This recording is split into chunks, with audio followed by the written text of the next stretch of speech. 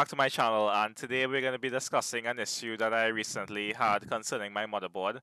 Um, a lot of people have been having this issue um, with AuraSync. Um, the lights on my motherboard just stopped working all of a sudden and I'm going to like explain to you guys my experience and what I did to fix the problem. So um, recently I uh, downloaded uh, the new BIOS for my motherboard. I currently own the ASUS Z370E gaming motherboard and um, I also downloaded um, AuraSync, the updated version, and a few other utilities here and there. And like a couple hours after I did, um, all of a sudden the lights just stopped working.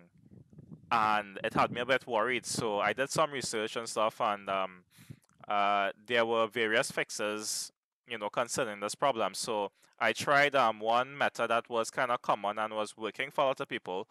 Um, they said to re-download AuraSync, so I did. And um, they said that you should right-click on the, the zip file, click on properties, and there should be um, uh, uncheck box here. Um, it says uncheck, and there's like a little box, so you can like tick on the box and click apply, then okay. I already did that. That's why you're not seeing it. Um, so this was the extracted file and I reinstalled and um, I tried like, you know, clicking on one of these and clicking apply, still nothing came up for me. Um, nothing worked. So um, I started to think maybe I should try reinstalling the BIOS or something like that to help, you know, resolve this issue. Still, that didn't work for me. Um, so I kept, you know, um, uninstalling AuraSync and reinstalling and just trying to do things a little bit differently here and there. So what um, generally fixed my issue um, is like reinstalling AuraSync. And when I still did the method of, you know, right clicking, clicking properties and um, checking that uncheck box.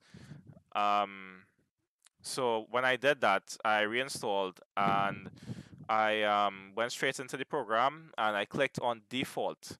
Um, this time it, it came back on as, as soon as I clicked default. So um, that's what worked for me. Um, so I'm just trying to help you guys out, you know, um, because for some, um, it still simply isn't working for them, even though they tried all these methods. But um, for some people, it's slightly different. So um, this is what helped me. So I clicked on default and the lights suddenly came back on. So I've never had this issue since then, and that was like about two days ago. So I just want to like share with you guys my experience with AuraSync. Um, there's a lot of problems with AuraSync um, for months now, probably even over a year now. And I hope that they could resolve this problem permanently. Um, but for now, it's it's gonna cause a bit of problems here and there. So um, just keep tweaking, guys, and you know try different things and um, concerning the AuraSync and clicking different uh, stuff um, on the program and maybe that could help. Um, but what helped for me was clicking on default. So guys, um, I hope you enjoyed this video and I hoped that it helps some of you out there.